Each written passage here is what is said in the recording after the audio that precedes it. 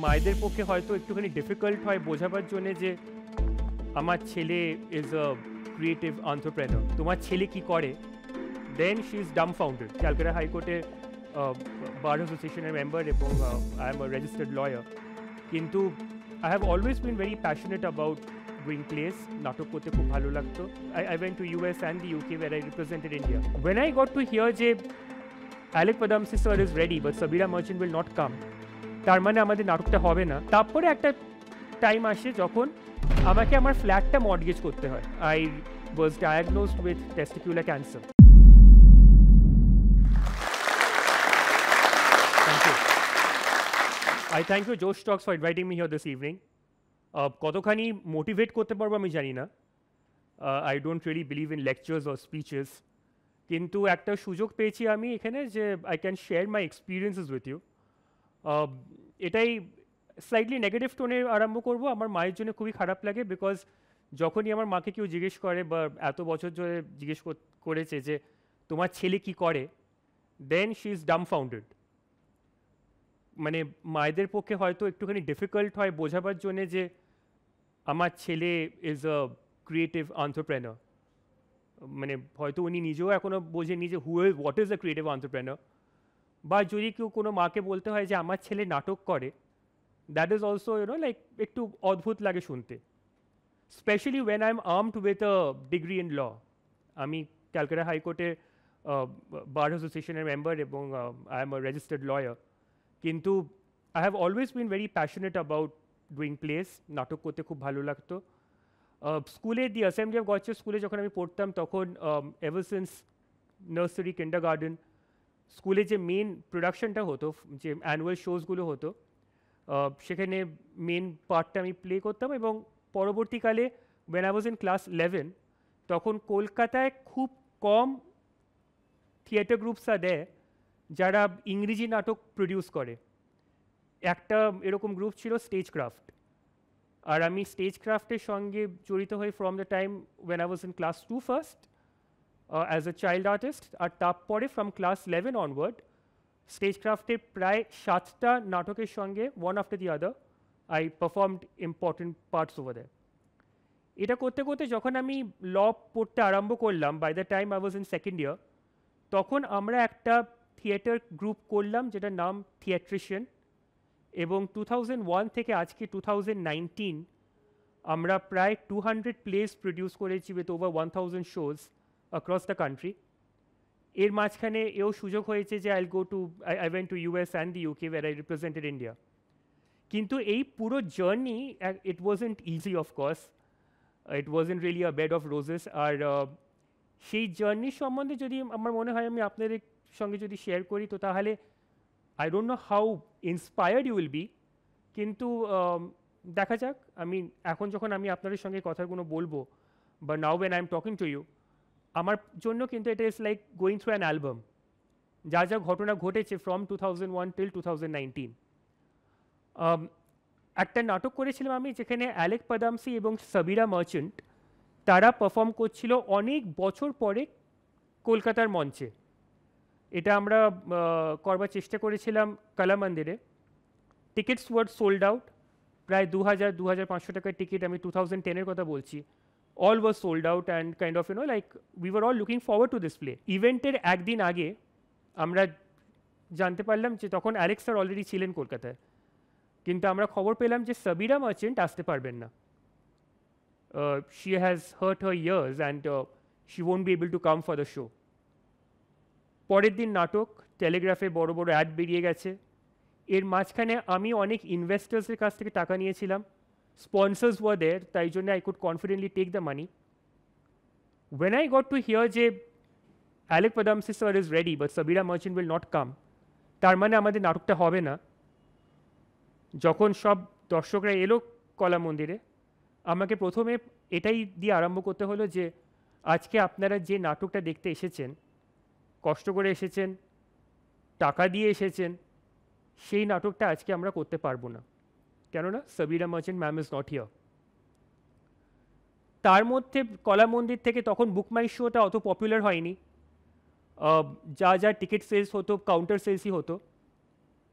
যখন দর্শক এটা শুনলো, তখন অবভিয়াসলি এক, অনেক কটা section of the audience they were really wild they got very violent তখন আমি তাদের বললাম যে sir is here Alyque Padamsee sir is here উনি ওনার ডেথ অফ আ সেলসম্যান নাটক থেকে কিছু সিনস পারফর্ম করবেন এবং আমরা থিয়েট্রিশিয়ানের হয়ে আমাদের একটা খুব পপুলার প্লে আছে দ্য কমেডি কিচেন যেটা দশ থেকে বারোটা short comic sketches we are ready with তো আমি সেটা দর্শককে বললাম যে we are ready with that আপনারা যদি চান তো তাহলে ওই নাটকগুলো দেখতে পাবেন। কিন্তু যেহেতু আপনারা যে নাটকটা দেখতে এসেছেন, আবার সেটা আমি প্রেজেন্ট করতে পারছি না, যদি আপনি চান, আপনি কাউন্টার থেকে আপনার টাকা নিয়ে যেতে পারবেন। I remember nearly thirteen lakh rupees from the counter we had to give away and স্পন্সারদের তো অবভিয়াসলি আমি তারপরে স্পন্সর থেকে যেতেও পারিনি। সেই স্পন্সরশিপ অ্যামাউন্টটা চাইবার জন্যে। এইখান থেকে একটা দেনা হতে আরম্ভ করে। I started getting into a debt trap এবং যারা ইনভেস্ট করেছিলেন অবভিয়াসলি তাদের কাছে এটা কোনো মানে দে ওয়ার লিস্ট বদার্ড তুমি আমাদের কাছ থেকে টাকা নিয়েছো, এখন তুমি আমাকে রিটার্নস দাও। প্রফিট তো ছেড়ে দাও প্রিন্সিপালটা আমাকে অন্তত ফেরত দাও। আর I was in no position কেননা Kala Mandir auditorium hiring rate তারপরে মিডিয়া টেলিগ্রাফের অ্যাডস হোর্ডিংস দের আর্টিস্টদের কস্ট সেটা অবশ্য আমি ফেরত পেয়ে গেছিলাম। So the debt trap started happening over the অনেকে কিছু পুলিশ কেসও করে। ঘরের মধ্যে অনেক লোকজন আসে। মা খুব অবাক হয়ে যায়, বাবা খুব অবাক হয়ে যায়। তখন বাবা বেঁচে ছিলেন। In two thousand sixteen I lost তো এইখান থেকে, এই জায়গা থেকে বেরুতে ইট ওয়াজ ভেরি টাফ কিন্তু নাটকটা আমি কখনো ছাড়িনি। ল চলছিল, ল মানে প্র্যাকটিসিংয়ে খুব একটা মন ছিল না। অনেক কথা স্কুল থেকে ওয়ার্কশপের অনেক অফার পেয়েছিলাম। কিন্তু অবভিয়াসলি সেরকম ওইভাবে কোনো রকম রেভিনিউ হচ্ছিল না। অ্যান্ড এই ডেটটা মেটাবার জন্যে আই হ্যাড টু অ্যাগেন বড় so it became a vicious cycle তারপরে একটা টাইম আসে যখন আমাকে আমার ফ্ল্যাটটা মর্গেজ করতে হয়। Twenty five A Circus Avenue এটা আমার address the building belongs to us কিন্তু সবকটা ফ্ল্যাটই রেন্টেড আমাকে আমার ফ্ল্যাটটা মর্গেজ করে ম্যাগমা ফাইন্যান্সিয়াল কর্পোরেশন লিমিটেড ওদের কাছ থেকে একটা অ্যামাউন্ট আমি নিই। এই ডেটটা মেটাবার জন্যে। এবং সেটার জন্যে পার মান্থ একটা interest of thirty two thousand rupees I have to pay and that really started kind of you know like shaking me up it was pulverising তো সেই সময় বাই গডস গ্রেস কলকাতার বাইরে অনেক কটা অফার আসতে আরম্ভ করল to conduct workshops to do shows আমার কলকাতার বেস্ট কিছু নাটক খুব পপুলার হতে আরম্ভ করল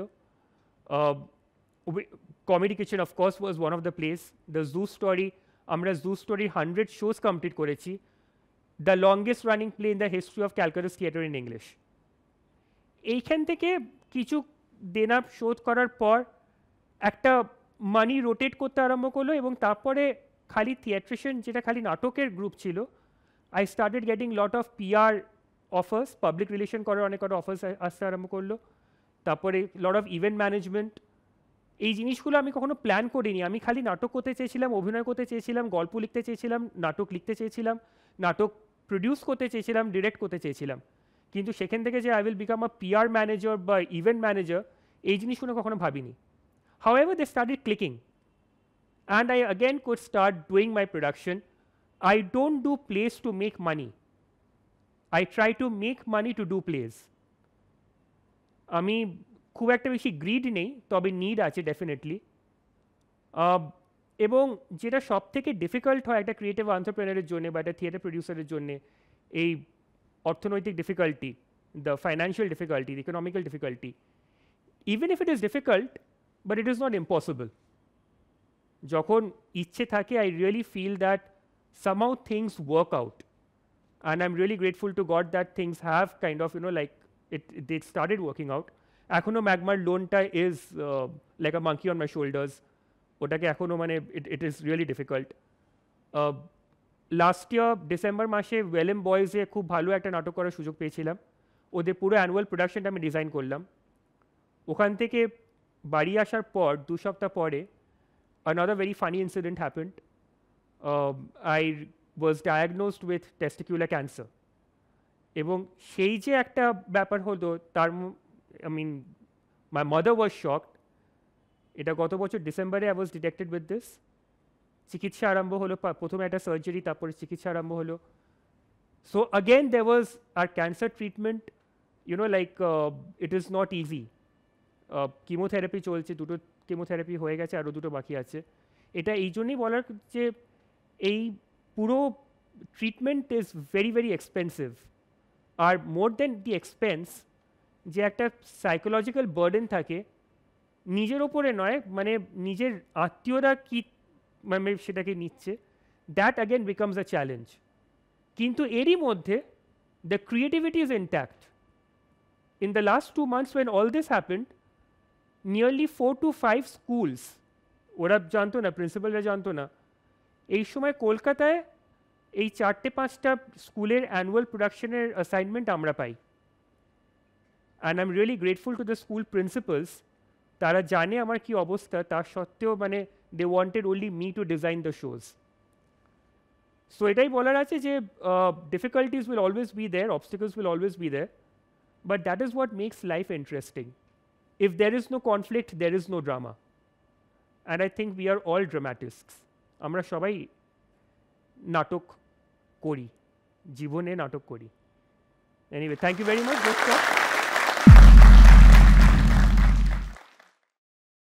বন্ধুরা, আমরা সবাই ভিডিওর একদম শেষ প্রান্তে চলে এসেছি। আশা করছি টকটা আপনাদের জন্য প্রচণ্ড ইন্সপায়ারিং ছিল। এবার আমরা সবাই আমাদের জীবনে সাকসেসফুল হতে চাই এবং সাকসেসফুল হওয়ার জন্যে দুটো জিনিস খুব ইম্পর্ট্যান্ট একটা হচ্ছে শিক্ষাগত যোগ্যতা, যেটাকে আমরা অ্যাকাডেমিক কোয়ালিফিকেশন বলি, আর দ্বিতীয় হচ্ছে সফট স্কিলস এবার আমাদের কলেজ এবং ইউনিভার্সিটি আমাদের একাডেমিক কোয়ালিফিকেশন বা শিক্ষাগত যোগ্যতা তো দিয়ে দেয় কিন্তু ঠিক প্রথাগতভাবে সফট স্কিল কোথাও শেখানো হয় না। কিন্তু ভয়ের কোনো কারণ নেই। এখন, জোশ টক্স একটা অন্যতম ভার্টিক্যাল জোশ স্কিলস আমাদের এই সমস্ত সফট স্কিলস যেমন spoken English personally development time management ইত্যাদি প্রচণ্ড অ্যাফোর্ডেবল রেটে শেখাচ্ছে। জোশ স্কিলস এমন একটা প্ল্যাটফর্ম যেখানে আপনি ইন্ডিয়ার বেস্ট মেন্টর্স পাবেন আর তারই সাথে সাথে আপনি এমন একটা পরিবেশ পাবেন যেখানে আপনি আপনার ব্যাচমেটদের সঙ্গে ভার্চুয়ালি চ্যাট এবং আপনার জিনিসগুলো ডিসকাস করতে পারেন। শুধু এইটুকুনি নয় জো স্কিলস প্ল্যাটফর্মে আপনি পাবেন এমন ভার্চুয়াল ক্লাসরুম যেখানে আপনি আপনার ব্যাচমেটদের সঙ্গে রিভাইজ এবং প্র্যাকটিস করতে পারবেন শেখানো সমস্ত নিয়ম কারণ তো যদি আপনার মনে হয় কি আপনি ইংলিশে কাঁচা আছেন এবং আপনাকে নিজের স্পোকেন ইংলিশ এবং পার্সোনাল ডেভেলপমেন্টকে ইমপ্রুভ করতে হবে, তাহলে চট জলদি নিচে দেওয়ার লিঙ্কে ক্লিক করুন এবং জো স্কিলসের অ্যাপের সমস্ত সুবিধা গ্রহণ করুন। জোশ টক্স এখন একটি স্পটিফাই এক্সক্লুসিভ পডকাস্ট আমাদের প্রতিটি ভিডিওটির অডিও সংস্করণ শুধুমাত্র স্পটিফাইতে পাওয়া যাবে। আপনি যদি এই ভিডিওটি পছন্দ করেন, তাহলে আপনি জোশ টক্স পডকাস্ট অনুসরণ করতে পারেন। এবং এরকম আরও অনেক অনুপ্রেরণামূলক গল্প শুনতে পারেন, শুধুমাত্র স্পটিফাইতে এই ভিডিও সম্পর্কিত আপনার মন্তব্য কমেন্ট সেকশনে জানান। আর ভিডিওটি বন্ধুবান্ধবদের সাথে শেয়ার করতে ভুলবেন না কিন্তু।